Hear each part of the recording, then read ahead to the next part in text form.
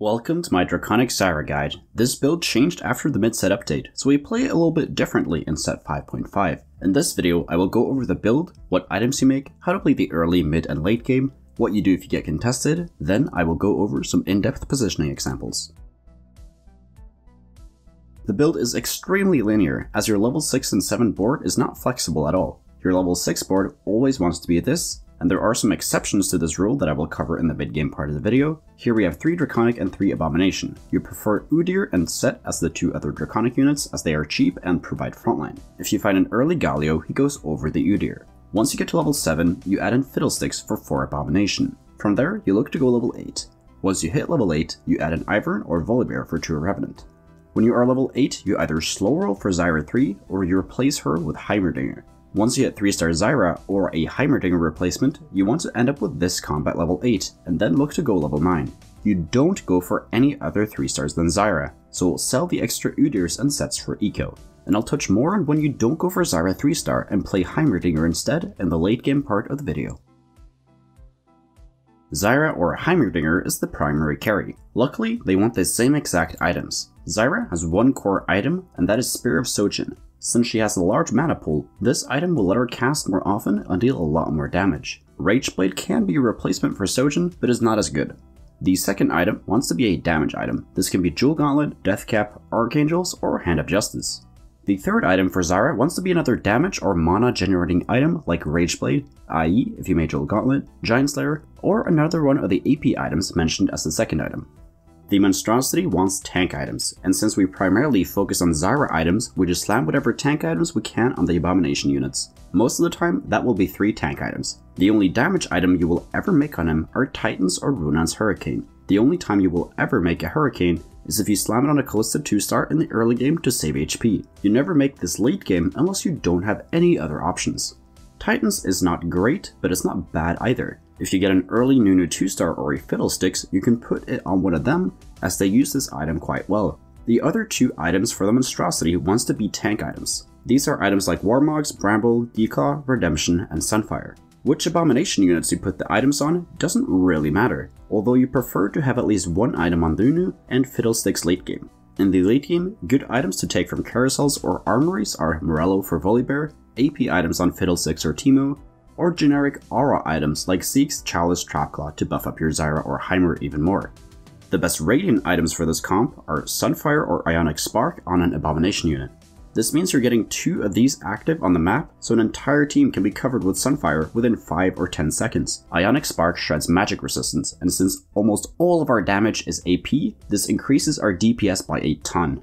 Besides those two items, you will do well if you pick up any Radiant version of the Zyra items or tank items and put them on the Monstrosity or Zyra unit. If you get a spatula, you want to make Spellweaver Spat if you're playing Zyra, so that you can get in for Spellweavers at level 8 with Vel'Koz. If you're playing Heimerdinger, you take Renewers Spat, so you can get 4 Renewers at level 8 with Rakan, Heimer, and Ivern.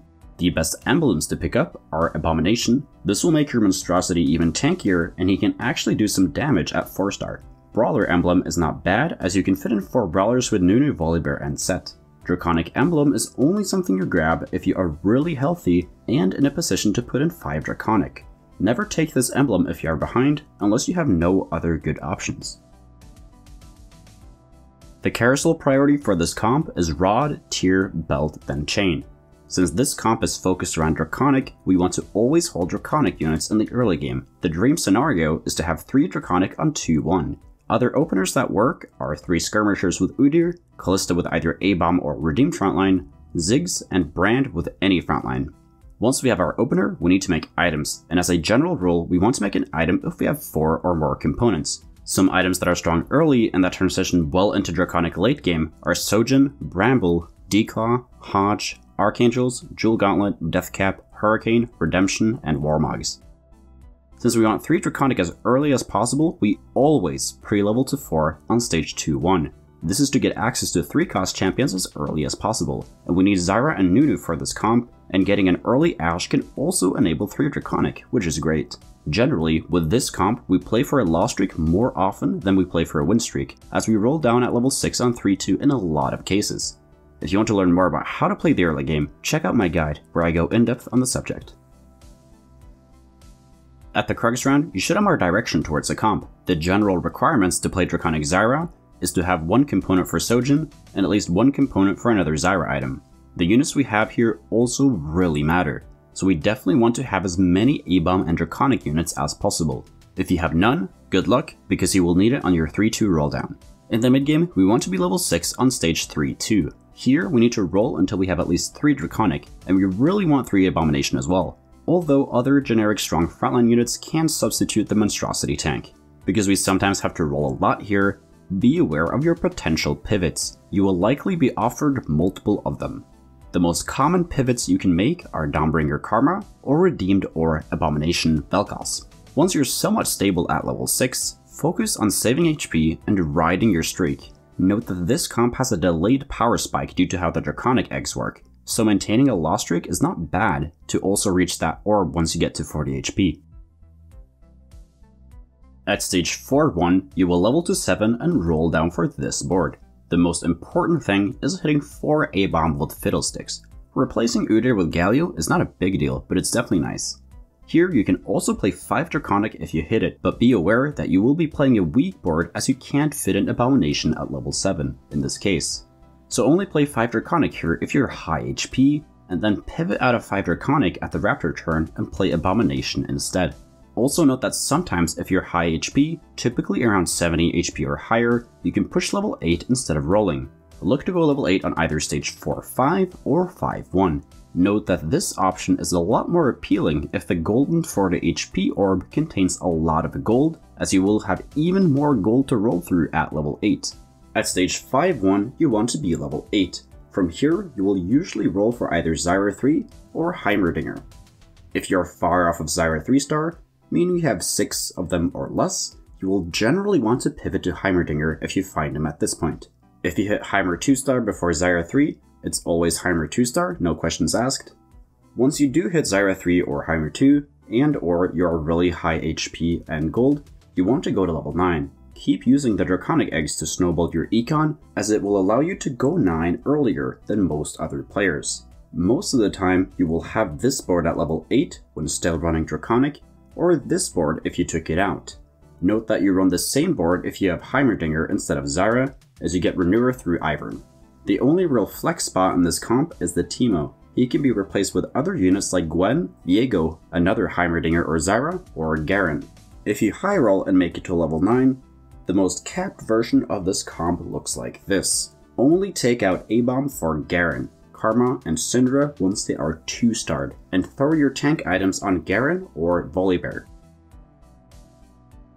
Getting contested on this comp is not as bad as you'd think. Don't get me wrong, you always prefer to be uncontested, but since we can pivot to Heimerdinger later, not hitting Zyra 3 is not a big deal. You still want to go for Zyra 3 star though, as sometimes you can get really lucky, or your contester can just get really unlucky.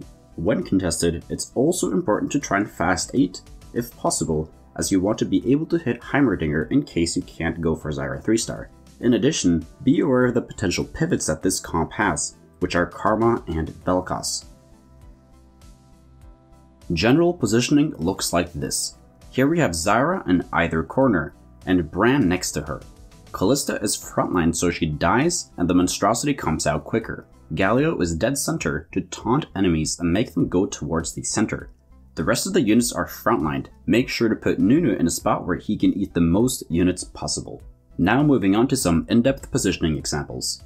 Against the first guy, the big threat is Aphelios. We have Galio in the center to draw the enemy frontline towards the middle, where Zyra will ult. Nunu is positioned to potentially eat the Sejuani. Sett is on far right side, so he walks and ults both Sejuani and Rell once she dashes. Ivern is second row to make sure he casts. Zyra is opposite side of the Aphelios.